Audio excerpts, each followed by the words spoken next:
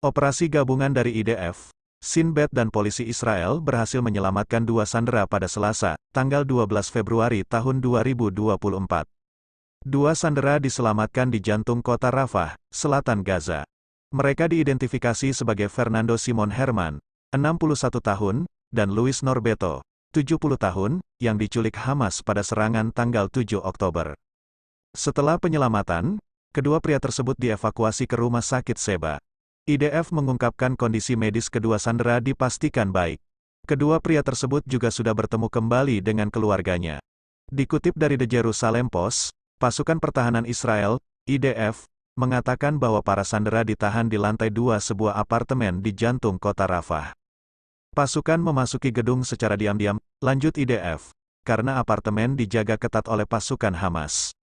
Selain itu, Angkatan Udara Israel IAF menghentikan upaya Hamas untuk menyerang tim penyelamat yang meninggalkan lokasi kejadian. Sementara itu, Menteri Pertahanan Israel Yoav Galan mengapresiasi operasi penyelamatan sandera yang dilakukan oleh pasukannya. Di sisi lain, operasi penyelamatan sandera ini telah menyebabkan sedikitnya 37 orang Palestina tewas dan puluhan lainnya terluka. Saat dilakukannya operasi tersebut, Israel menggempur habis-habisan dengan serangan udara di kota Rafah. Download Tribun X sekarang. Menghadirkan lokal menjadi Indonesia.